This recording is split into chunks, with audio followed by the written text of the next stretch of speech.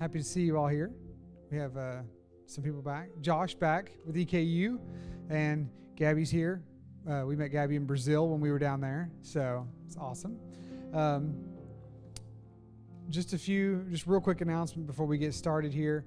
Uh, September 1st at 6:30, we're going to be having our Pursuit Night of Worship. If you guys haven't seen the flyer for that uh, on Sunday mornings when you've been here, then you've been not been paying attention to announcements.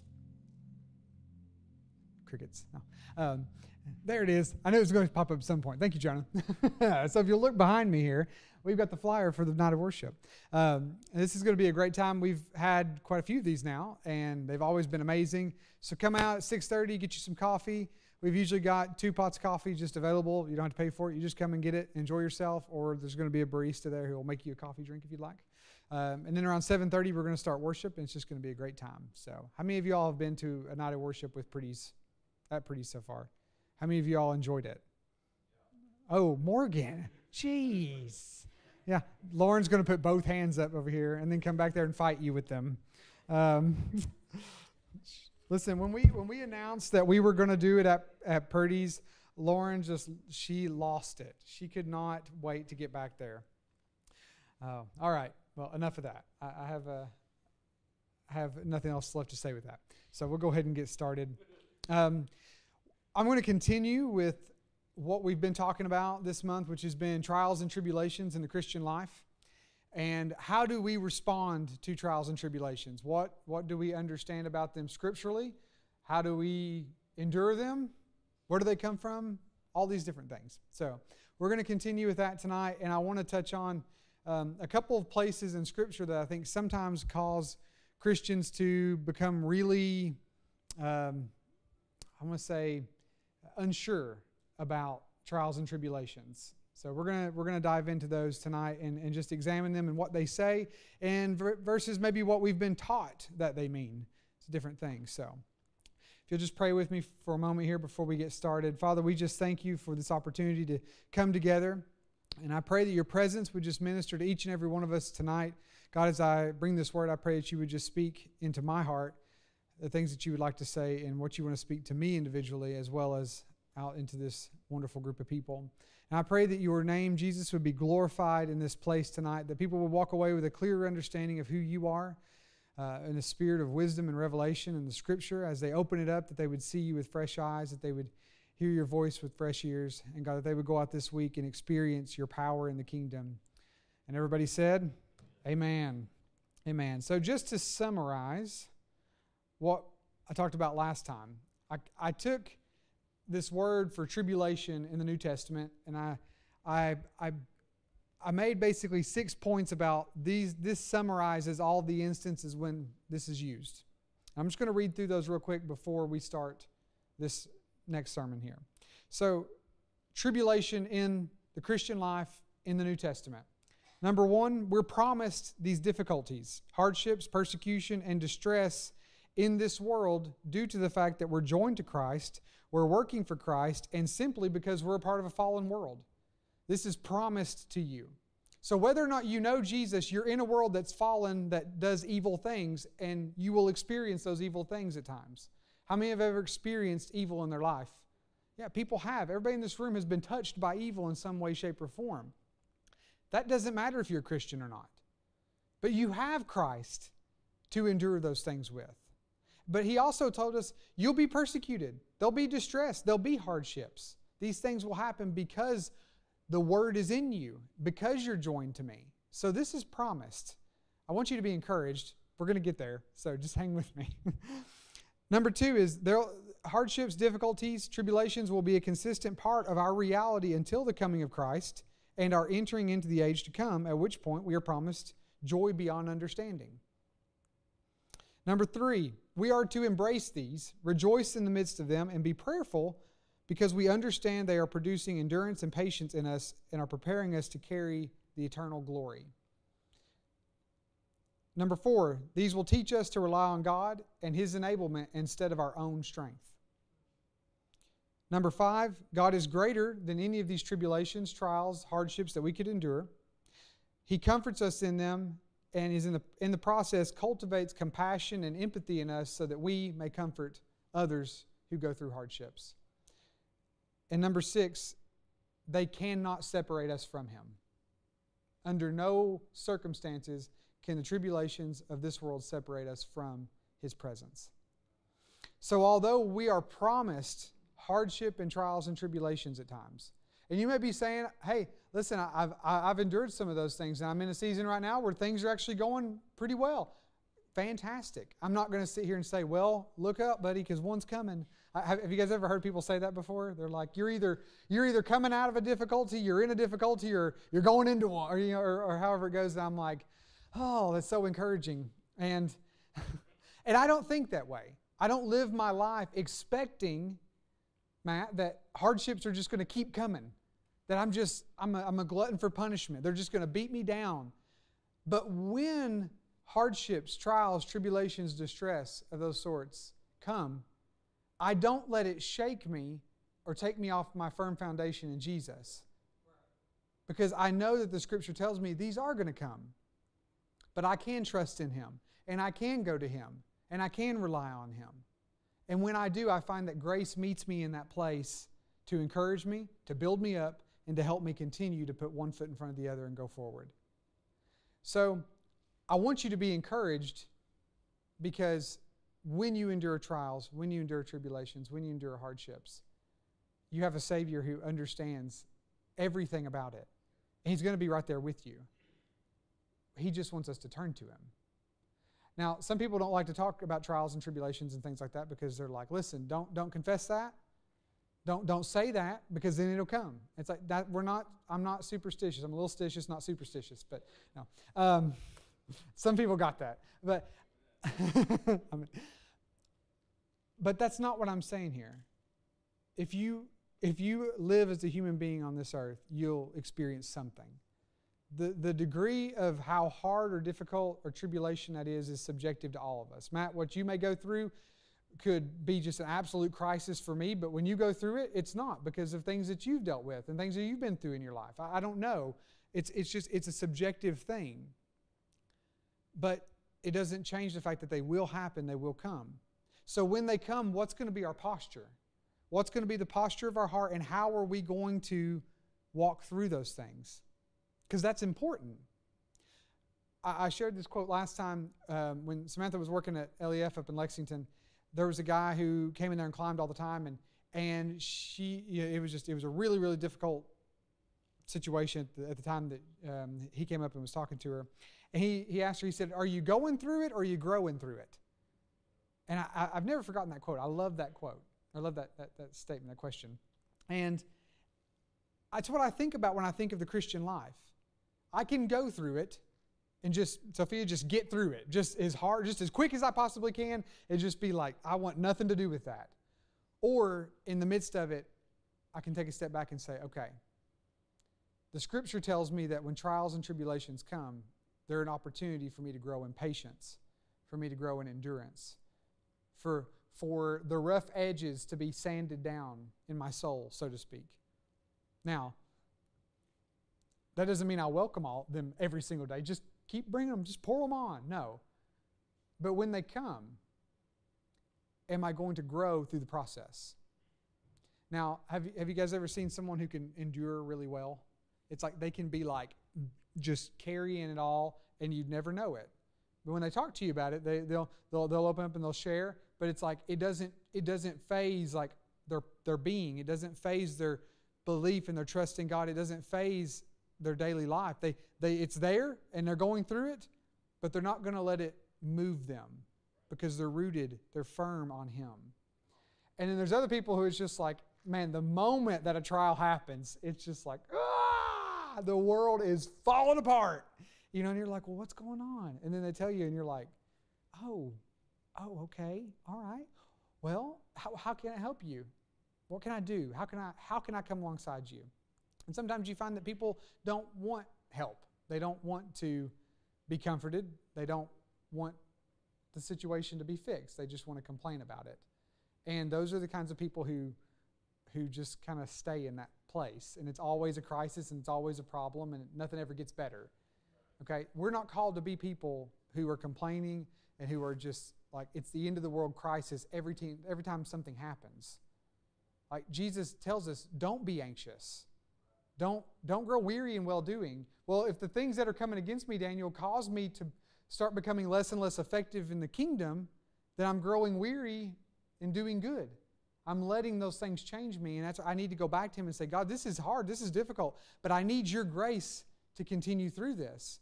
And I don't want to complain. And I don't want to I don't want to be, you know, just bring everybody down with my situation every single time. There's there's one thing people say, well, I'm not complaining, I'm venting. It's like those are the same thing.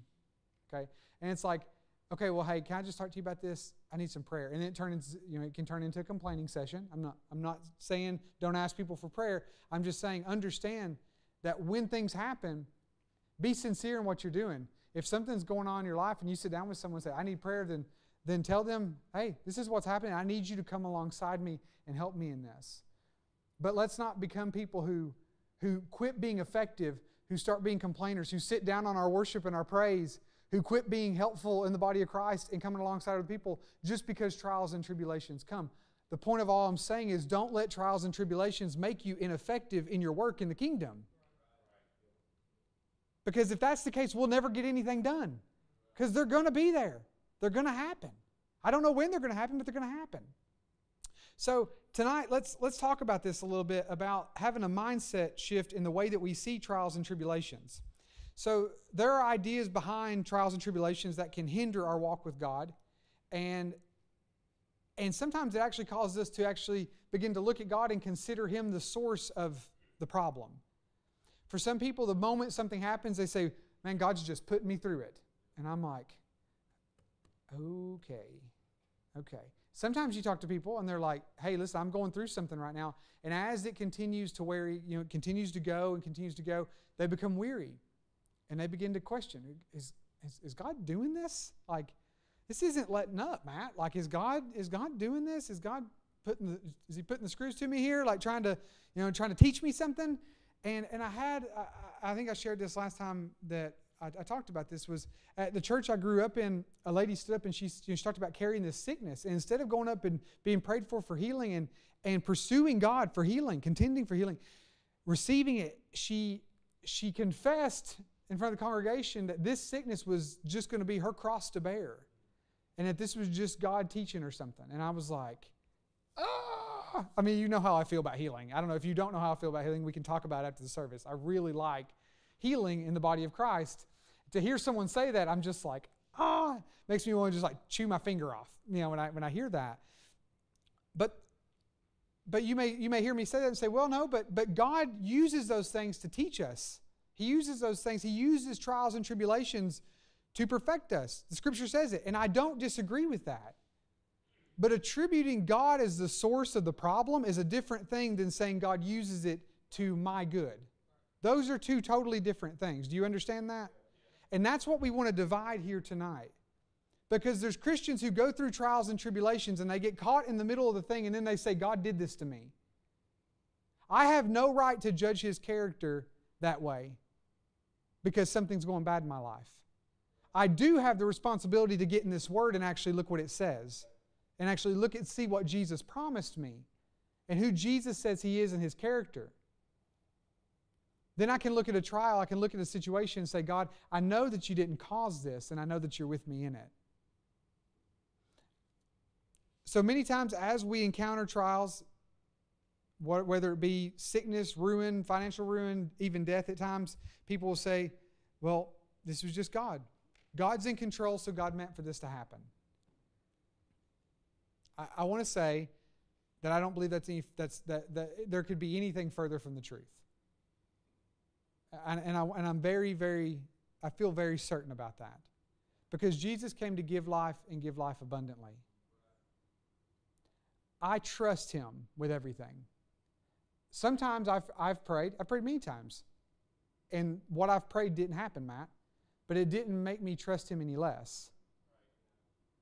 There's been times I prayed for people and been in the room and knowing somebody was on their deathbed and just praying and praying and praying.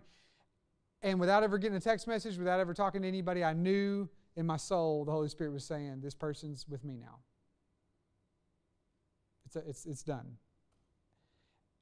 And I struggled with that at times. I don't have the answer to, to why things happen, but that doesn't mean I attribute every problem that happens in life to God and say God is bringing evil on me to teach me a lesson or to try to fix something in me or if I you hear people say have you guys ever heard this before? Like if you don't pay your tithes God will get his money somehow. You guys ever heard that one? Oh, that's a really bad one. If you, if you don't if you don't not faithful in service you know God may take your health if you're not going to use it to worship him. Because people have said these things. People have taught these things from the pulpit and they've maligned the, the, the view of God. And then we have a group of people who are growing up not knowing who He actually is, and they think they're, they're attributing things to God that Satan is doing. This is a problem. We have to know what the Scripture says, and we have to know who God is. So, we can, we can become weary in those trials, and then the enemy begins to get in our mind and he begins to try to convince us that, well, I'm, you've been really strong about this. You've got a real strong belief in God about this, but maybe you're wrong. And those things creep in. And that's where we have to take every thought captive and hold it in light of truth and say, does this look like Jesus? Does this look like the voice of my Savior? Because if it doesn't, then it has no right to speak into my being or hold an opinion, hold any weight in me. Okay? Maybe we don't know. So I come to Matt and I say, Matt, I've been really struggling with something and I'm not sure about this and this is what I'm thinking. And I share it to Matt and the moment it comes out of my mouth, my mouth Matt just slaps me and says, ain't, ain't a bit of that came out of your mouth was truth. Hush it up. No, Matt wouldn't do that. No, I hope he would be stern with me though if I was confessing a lie. He would, he would, yes. Yeah. Uh, so we need people who we can talk with, Michaela, who we can say, hey, this is what's going on. This is what I'm thinking about the situation. Am I seeing this correctly? Am I seeing this clearly, Sophia? Am I, is this God? Is it eh, like what's happening here? And we have this community of people who are getting in the scripture who know God, who come around side, alongside us and say, No, no, this like let's keep our head on straight here. Let's not fall to pieces. Let's remember who He is and what He said He's going to do. And the, even better is if you've had prophetic words spoken in your life and you've shared those with friends, and you, something's going on in your life and it's contrary to that prophetic word. Having a friend come alongside you and say, Do you remember when you got that word? And you're like, I do. And like, do you remember how that word is completely contrary to everything you just said? And you're like, Yeah, yeah, I do. Thanks. And it's like, okay, let's stop believing a lie. Let's start believing the truth. You need friends like that who are going to come around side, alongside you and help you. My wife does that for me. I'll come in sometimes and I'll, I'll start saying something. She'll be like, You remember that prophecy we got that time? And I'm like, yeah. Yeah. And like, you remember how Joseph was in the dungeon? And I'm like, yeah, yeah. She'd be like, all right, dinner will be ready in a little bit. And just, just like, thanks, hon. I appreciate it. So let's go look at a piece of scripture here. Hebrews 12, 4 through 7. This talks about where God disciplines those he loves. Okay? I'm going to read it for you here. In your struggle against sin, you've not yet resisted to the point of shedding your blood. And you have completely forgotten, and have you completely forgotten this word of encouragement that addresses you as a father addresses his son? It says, My son, do not make light of the Lord's discipline, and do not lose heart when he rebukes you, because the Lord disciplines the one he loves, and he chastens everyone he accepts as his son. Endure hardship as discipline. God is treating you as his children. For what children are not disciplined by their father? Now, you may hear that and listen to everything I just said and been like, well, there, it says it. It says that God does these things. I have never killed someone because I was disciplining them. When I'm disciplining my children, I don't kill them. I don't know. Do I need to say anything else about this? Discipline from God is to move us forward into being made into the image of Christ. If His discipline kills me, then what redemptive quality is there in it? Informing me into the perfect image of Jesus. Okay? Death in these cases has no redemptive quality. now, God can do absolutely whatever He wants to do, but I find it inconsistent in His nature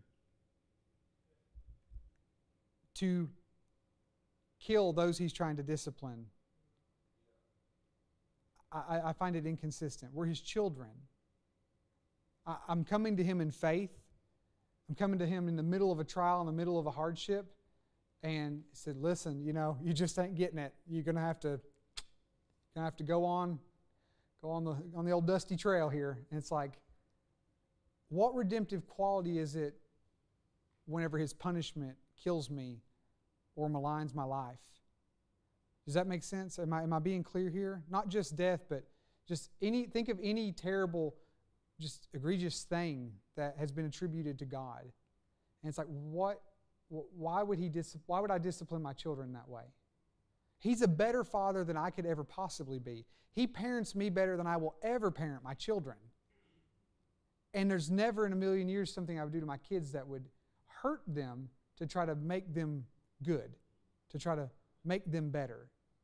That's not what discipline is. Discipline is to propel me forward. Discipline is to form and perfect the image of Christ in me. so another area I want to look at is Acts 5. This is a good one. This one, this one I feel like trip, really trips people up. So, Ananias and Sapphira going to Acts 5. How many of you guys know what I'm talking about? All right. Let's just read a little piece of this here. And I'm, I'm pointing out these sections of Scripture because these are the things I feel like the Holy Spirit pointed out to me and was like, these cause issues for people when they're going through trials and tribulations. These cause issues for the way people see my character and nature. So that's why we're diving into these particular ones. So, Acts 5. But a man named Ananias, with his wife Sapphira, sold a piece of property, and with his wife's knowledge, he kept back for himself some of the proceeds and brought only a part of it and laid it at the apostles' feet. But Peter said, Ananias, why has Satan filled your heart to lie to the Holy Spirit and to keep back from yourself part of the proceeds of the land? While it remained unsold, did it not remain your own? And after it was sold, was it not at your disposal? Why is it that you have contrived this deed in your heart? You have not lied to man, but to God. And when Ananias heard these words, he fell down dead and breathed his last. And the great fear fell upon all who heard it. And the young men rose and wrapped him up and carried him out and buried him. Now, I'm not going to read the next part, but about three hours later, his wife, the same men carried her body out too. Because Peter said, Hey, did you, did you sell that land? Your, your husband was by here earlier. He, he's already gone, but did you sell that land for this much? Yeah, yeah, we did. All right. Have a good one. Joe, Joe paraphrase. Official Joe version. Um, I want to point something out about this because people look at this and say, we had two disciples in the community, Colton, who brought who brought some stuff they in, they lied. And God killed them. God killed two people who were part of the community.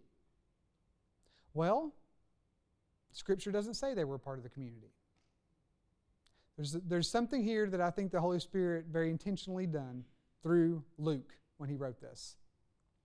13 times in the book of Acts, it says a certain man, a certain woman, a certain person. And every time it does that, it's referring to someone who is not a follower of Jesus. Every single time. Sometimes it's someone right before they become a follower of Jesus. And a certain woman who worshiped God then received the gospel and was baptized. But before she was a disciple, it did not refer to her as a disciple. Now, on the other hand, every time that it's referring to a disciple, it says a certain disciple, a certain disciple, and the disciples. This, this section of scripture starts out with, but a man, but a certain man, this man in the community. Ananias and Sapphira, I, don't, I do not believe that scripture supports that they were followers of Jesus Christ. I believe they were people who were coming in and who were trying to deceive and lie and gain stance in the community and gain influence in the community. I, I believe that that's what was happening here. I think that I think that what is not said is what actually supports that. Now, I would encourage you to go study that. I, want to, I, don't want you just to take what I'm saying and be like, yeah, that's right. Go study it for yourself. But I cannot find an instance in the scripture where God kills one of his disciples. I can find situations in the scripture where his disciples are killed and he receives them, Stephen being the first one I can think of here. And even when at Paul's conversion, God told that Ananias, not the same Ananias, different Ananias, that Ananias, he said, Go and tell him, go and go and lay hands on him that he may receive his sight, because I have much that I want to show him that he's going to suffer for my name. God told him, You're going to go through things. But we don't see in Scripture where God took one of his disciples, one of his children, Jacob, and said, That's the end for you. I'm going to make you pay the penalty and the judgment of your sin here. In this situation, I don't believe we're dealing with people who were disciples in the community. I believe we were dealing with people who were coming in in deception. In this, I believe the scripture clearly testifies that they were full of deception. Now, has that ever has that section of scripture ever caused an issue for you? Okay, Matt's back there like absolutely not. Matt has no issue with that scripture. Has anybody else ever had an issue with that scripture before?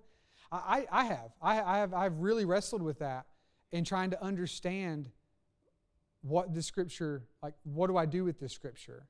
And I'm not trying to explain it away, but I'm just trying to simply point out what I see when I look at the book of Acts. And what I see when I look at the book of Acts is those who are numbered with the disciples are referred to as disciples, and those who aren't are not referred to as disciples. The next one I want to look at is in Acts chapter 12.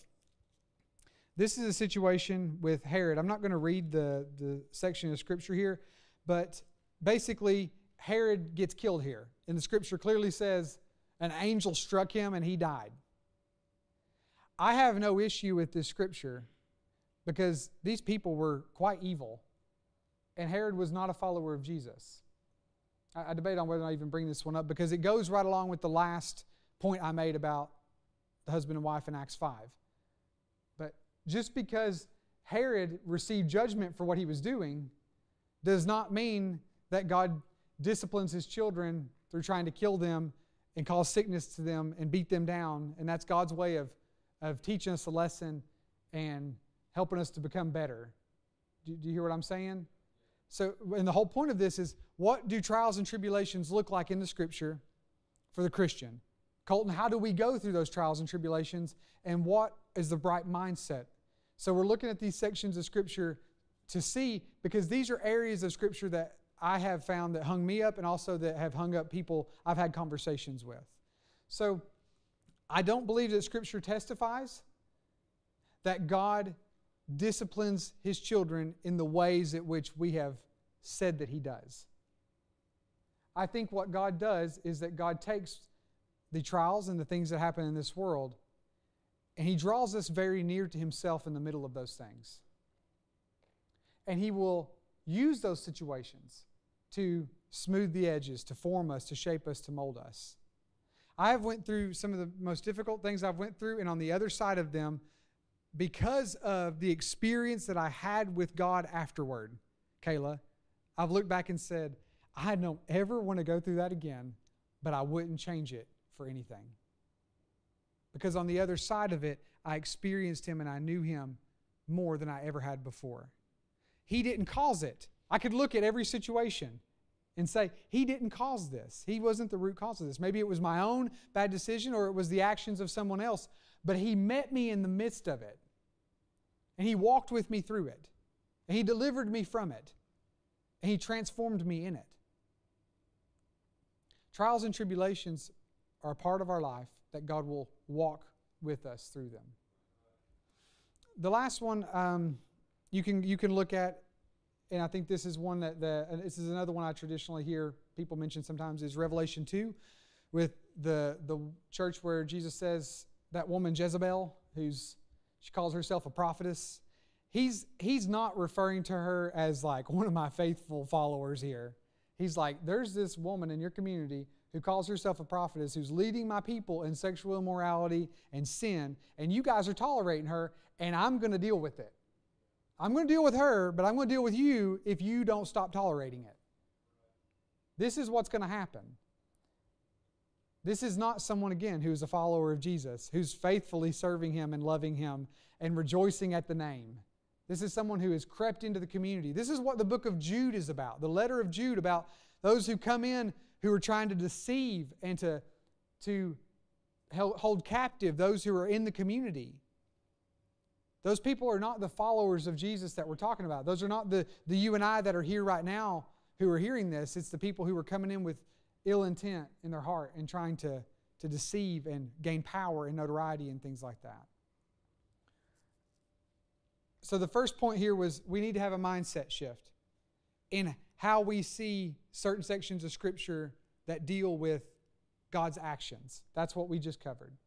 And I, and I hope maybe this is giving you something to think, out, think about, but I hope maybe it has helped you to see a little more clearly who the source is of these things.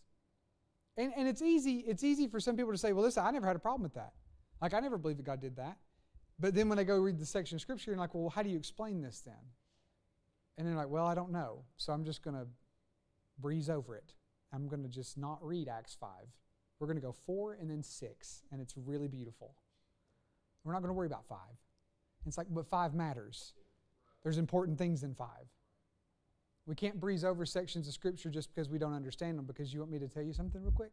That's going to be what the enemy uses to deceive you and confuse you later on. When you breeze over the things that you don't understand and you willfully, willfully don't study them because they're hard, those are going to be the traps that the enemy puts you in. Don't be one of those people. Study the hard things, wrestle with the hard things but keep clear in your mind the character and nature of God while you're doing it. so, what is the practical response of a Christian going through trials and tribulations then? I'm going through a difficult situation, Daniel. It's not been fun at all. I don't believe that God did it, but I'm in it. Here we are. It's just like this a never ending movie. What do we do? Let's go to James 1 2 through 4 see if I can beat Jonah.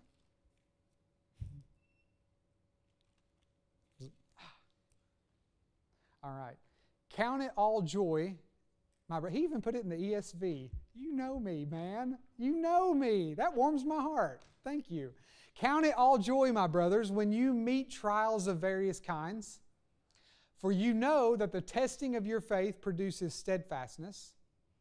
And let steadfastness have its full effect, that you may be perfect and complete, lacking in nothing.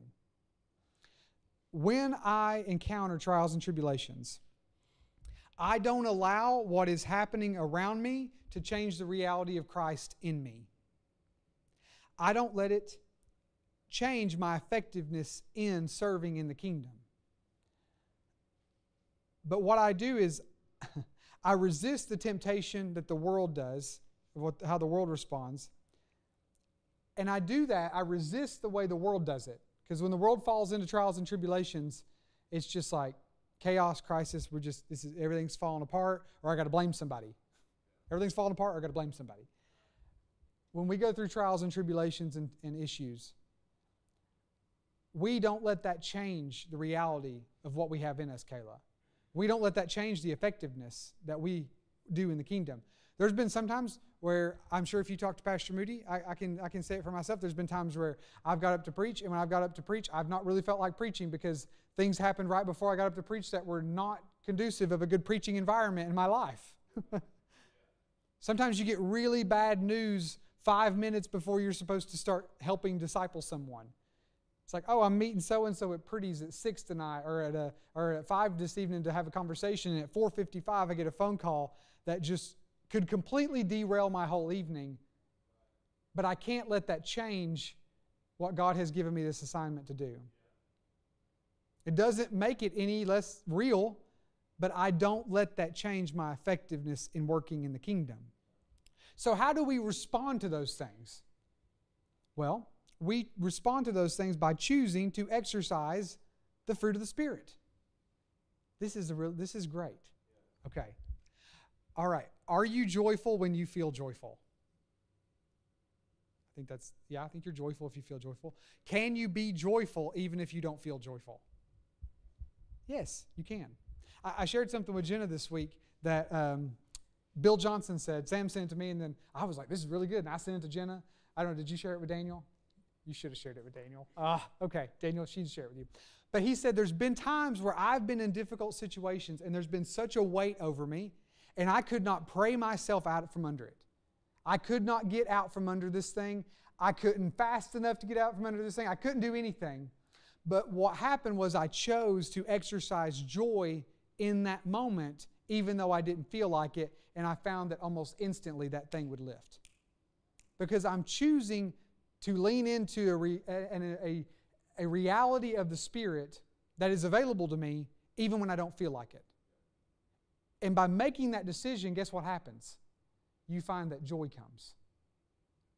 So, do, does the fruit of the Spirit grow in our life and then we have it, or do we choose to walk in it and then we see it? It's, it's both and. As we grow in relationship with God, the fruit of the Spirit just naturally grows in our life. But every day I get to choose am I going to be in the Spirit or am I going to be in the flesh, Kaylee? Am I going to walk in peace or am I going to walk in frustration? So when trials and tribulations come against us, I actually have the ability I have a will that I get to choose to exercise. And I can choose to lean into life in the Spirit. And in that moment, when that frustration comes, then I say, God, I'm, I'm going to lean into peace right now. I'm going to put my mind on you because Isaiah 26 and 3 says, You'll keep me in perfect peace if I keep my mind on you. So that's what I'm going to do right now. And in the middle of this really difficult situation, I'm going to receive your peace. I'll confess that. I'll confess that in the middle of the moment so that myself can hear it. I can hear it. I'm going to choose to walk in peace right now.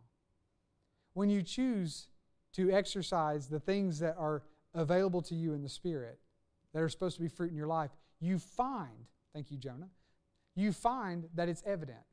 You keep him in perfect peace whose mind is stayed on you because he trusts in you. So, whenever chaos comes into my life, Morgan, and I feel it bearing down on me, man, it's coming. Woo! I go into that moment and I say, God, I'm putting my mind on you. I'm putting my heart on you. And right now, I'm going to walk in peace in this. And I stay in that place and I protect that. And there's been other times where I've, I've, man, there was, there was a, Sam and I were just talking about this the other day. I was at work one day and I was like halfway through the day and I just noticed that something just felt different. I was like, where did I lose my peace? I felt so peaceful coming into work today and everything was going good in it. And now I don't feel the way I'd felt earlier. What is this? I'm not talking about like a, a feeling, necessarily an emotion, but just the reality of my soul did not feel as though it had before. And I began to sit there and just recount my whole day. I went back like moment by moment, everything I could think of, until I hit it poof, right on the head. A conversation. And in that moment, I let that conversation steal my peace. The peace was there, and then I partnered with something in that conversation that stole my peace. I believed something, I heard something in that conversation that stole my peace. And I had to go back to that and say, Whoa, Holy Spirit, I need my peace back.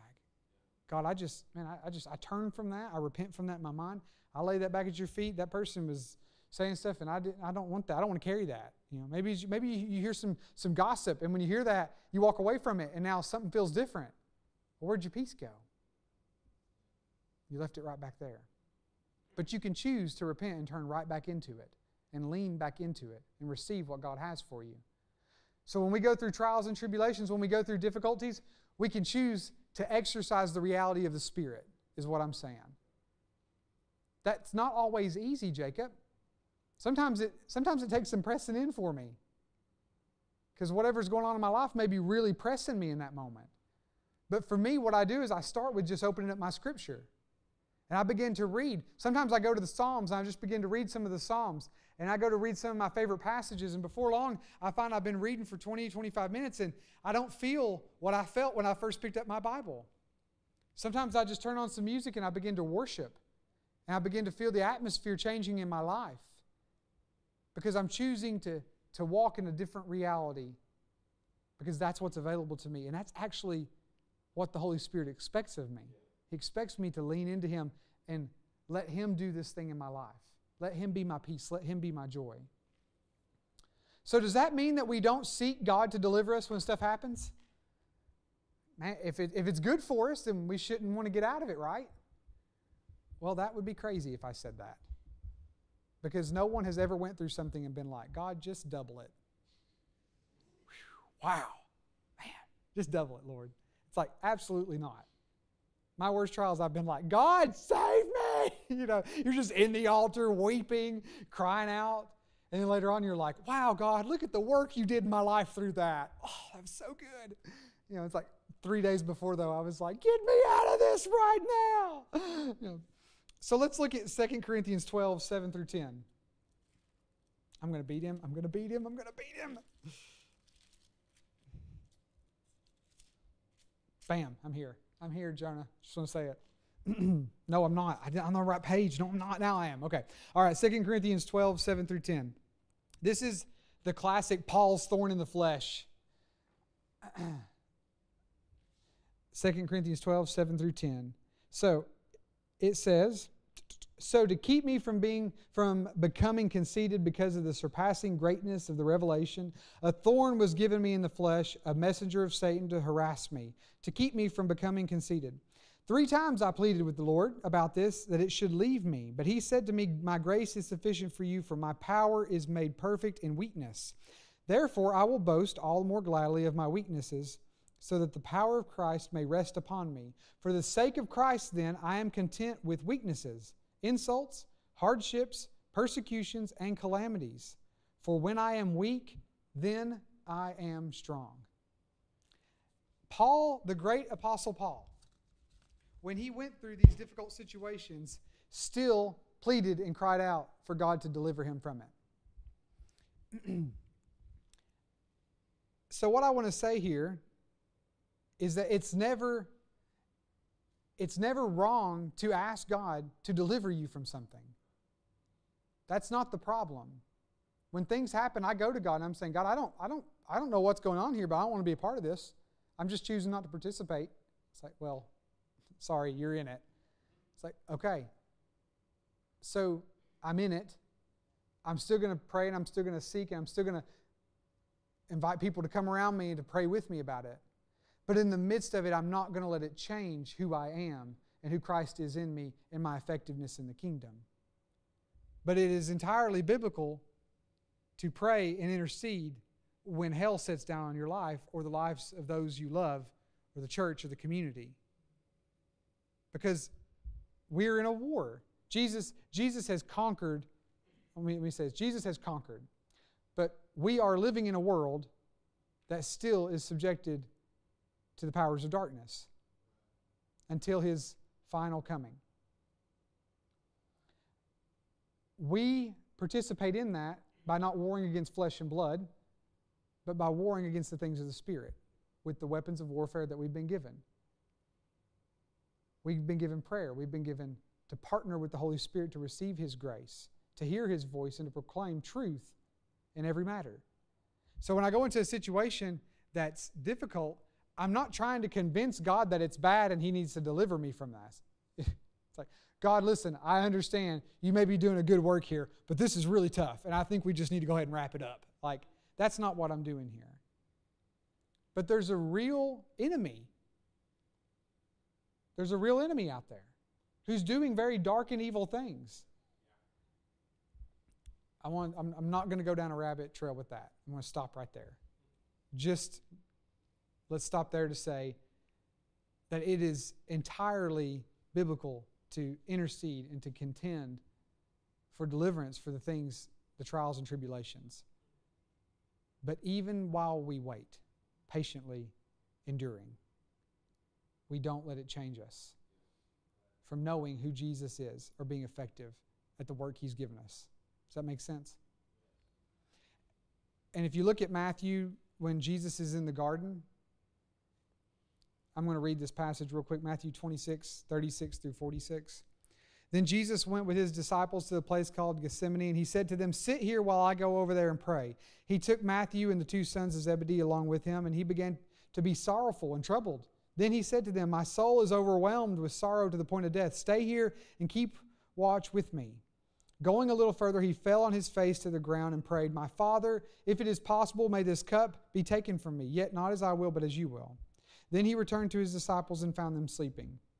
Couldn't you men keep watch with me for an hour? He asked Peter. Watch and pray so that you will not fall into temptation. The spirit is willing, but the flesh is weak. He went away a second time and prayed, My Father, if it is not possible for this cup to be taken away unless I drink it, may your will be done. And when he came back, he again found them sleeping because their eyes were heavy.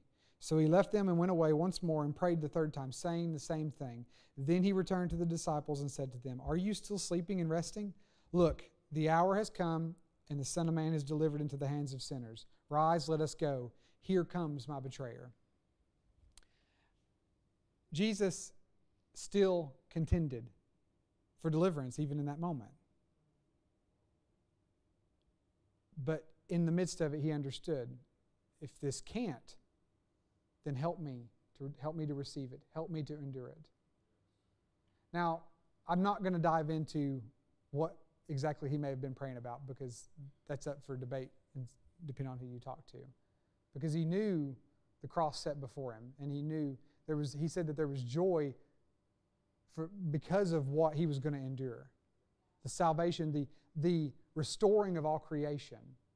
But in this moment, what he was contending with, maybe it was the crucifixion, Jacob. Maybe it was the fact that his disciples were all about to fall away. Maybe it was about the hardship that they were about to endure. Maybe it was because of what was about to happen to, to Jerusalem in the coming decades. There's lots of things that this could have been. It could have been all of those things, could have been one of those things. But the, the point of what I want to get at here is that what Jesus did was he, when he was troubled, and he was overcome in this trial and tribulation, he went to the Father. He went to the Father and pleaded. And he went back.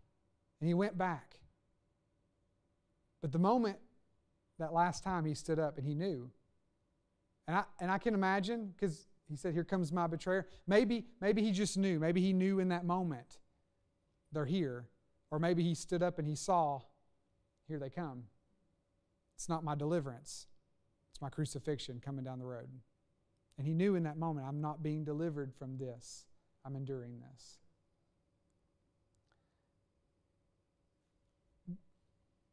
We should never be afraid to go to God when we're going through trials and tribulations.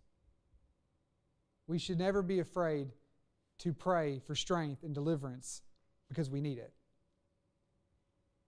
But let's not become people who attribute things to God that He never did. Let's not become people who question the character and nature of God because we don't understand a situation. Jesus said, I came to give life and give life abundantly. Do I trust that He's here to give life? If I do, then let that be guidance for me in every situation, Matt, that I understand that He is good He's not just great, He's good. His character is good. And He will bring good through every situation. Matt, if you want to come on. And I don't have to be concerned about whether or not He knows about it, Jacob. I don't have to be concerned about whether or not He's concerned about it because I know that He is, because I know that He draws near to me. so when you face trials and tribulations, when you face difficulties, don't let the enemy trick you into thinking that this is God. But also, don't be afraid to go to your friends and say, listen, I'm going through something and I need, I, I need help in this. And I need you to pray with me. I need you to fast with me. Do you remember whenever the, Jew, the Jewish population's existence was on the brink of destruction? And Esther says, I may die, Everyone, fast and pray. No food, no water. I'm going in. And God delivered the Jews that day. When we know the character and nature of God and we know what Jesus says about trials and tribulations and we know the heart of God, then we can confidently go through these things and we can confidently pray in them.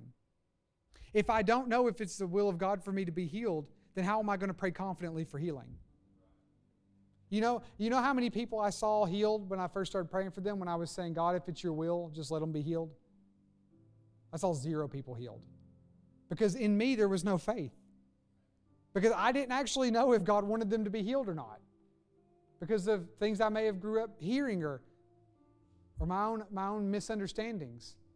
But when I searched this scripture and I saw the truth in it, when I saw the truth that Jesus healed and delivered and set free, and it was his is he came, you know, First John says to destroy the works of the devil. that created a confidence in me because truth, truth came in and I saw clearly. And in that moment, I was like, well, I don't have to, Kayla, I don't have to be worried anymore when I go to pray for someone. I know that healing is God's will. Now, did that mean every single person I prayed for got healed? Absolutely not. Did I see more people get healed afterwards? Yes, absolutely. When I began to believe the truth, I began to see the fruit of truth. So, when trials and tribulations come, how we go through them matters. We can go through them in a way that allows God to grow us and shape us and mold us. We don't have to go through things the way the world does. But we can also, Kelsey, go through it in a way that we come out on the other side not judging God's character, but being even nearer to Him than we ever were before because we understand He was walking with us through the whole thing. Now, you may have been through some difficult things in your life right now, and, and what you're hearing me say is Uh, maybe, maybe that, that may be difficult to hear because you, you still don't understand why things happened. And I'm not going to stand here and say I know why things happened in your life the way they did. I have went to God with things and said, God, why is this happening? And his answer has been to me is I'm not going to answer that question. But if you just draw near to me, I will take care of you. Sometimes we don't get the answer. And that, that can be very uncomfortable for us. But do we still trust Him? Do we still love Him? Do we still worship Him? Do we still walk with Him, even when we don't understand? Because I can look back at all those situations now and say, God, I, it would have been nice if you'd gave me an answer, but I can rest comfortably in knowing that you didn't cause those things, but you did walk out of them with me. And you didn't leave me there. He is our hope. He's our salvation. He's our deliverance. He is everything. And when we experience the trials and tribulations of this world, He is right there with us. All we have to do is turn to Him. If you'll stand with me.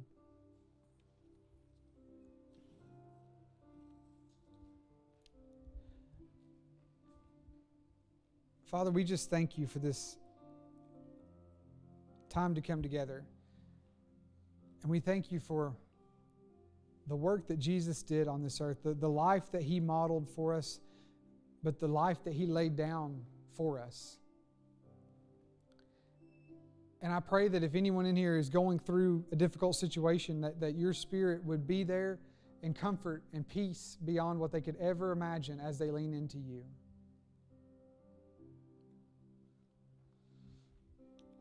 And before I go on, I, I, I want to say while your heads are bowed, your eyes are closed, is if, if you don't know this God that I've been talking about, and you're going through difficult situations and you've never you've never met him, you've never walked with him, you've never experienced his peace and his grace and his mercy and love, then you can right now. You can come up when we open the altar up, and I'll meet you right here and we'll pray together. And I'll introduce you to the person who saved my life in more ways than I could possibly imagine, who set me free and delivered me from dozens of issues, who became my hope. But if you're here and you do know Him, and you just want to come pray, then the altar is going to be open. If you're going through a difficult situation and you want somebody to pray with you, then go grab someone and say, hey, Listen, I may not know you very well, but can you come with me? Can you pray with me? Can you come alongside me in this moment? But as we go into some more worship before we close tonight, I want to invite you up to pray. I want to invite you to come and lay down whatever you've been carrying, whatever's maybe been hindering between you and the Lord, lay it down. Whatever trial and tribulation you've been going through that you've been carrying the weight of, lay it down and to receive His peace and that newness of life fresh.